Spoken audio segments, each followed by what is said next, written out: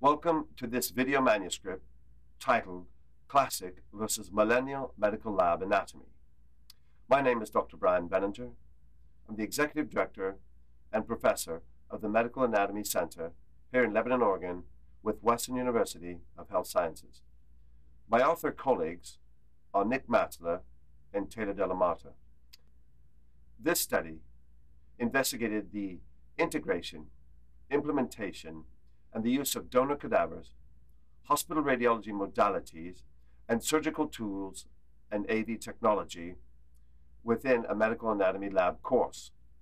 Teaching anatomy has undergone the greatest fluctuation of any of the basic sciences during the past hundred years in order to accommodate the meteoric rise in molecular sciences.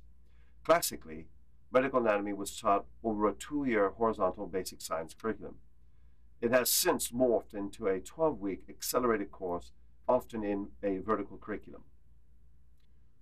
So the methodology was to start with and address our donor cadavers, and then the technology within the medical anatomy lab, and then the techniques that would be applied within the medical anatomy lab.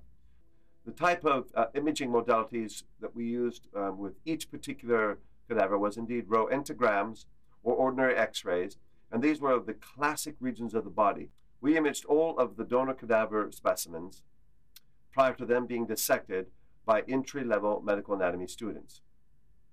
The roentgenograms or x-rays of the body consisted of cervical spine, thoracic, and lumbar spine x-rays, shoulder girdle, elbow, wrist, and joints of the fingers, as well as the humerus, radius, and ulna, and then the classic chest x-ray, abdominal x-ray, pelvic x-ray, and then x-rays of the lower limbs, which would have included the femur, and hip, knee, and ankle joints, as well as the joints of the foot, and so all the classic type of um, x-rays one might expect if you were to spend some time in a urgent care emergency room setting.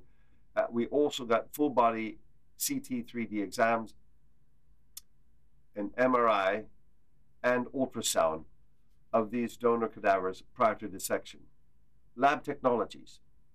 The lab technologies included uh, four 8 foot by 8 foot audiovisual projector with screens, multiple flat screens that were 50 inch HD TV, a laparoscopic stack for scoping, light boxes for viewing images, a sky eye camera setup.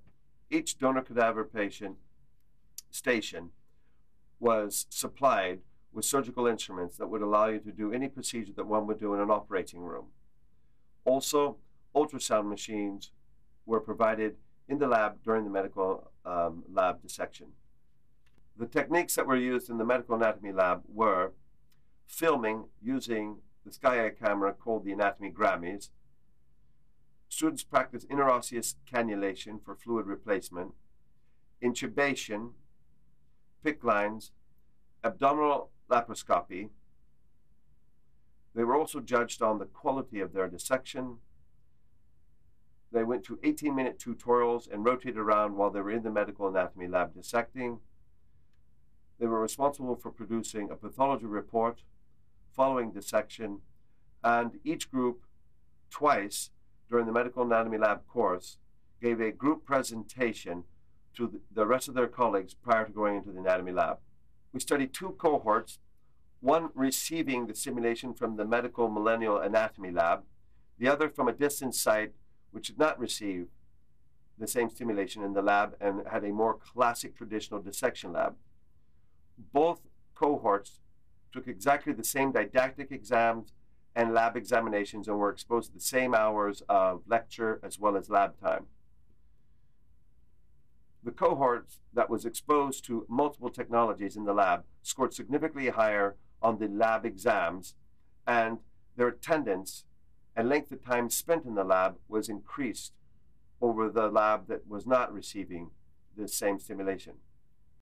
We also asked the students to fill out a Likert scale study, asking questions about their interest and what they enjoyed or did not enjoy about the stimulation within the lab.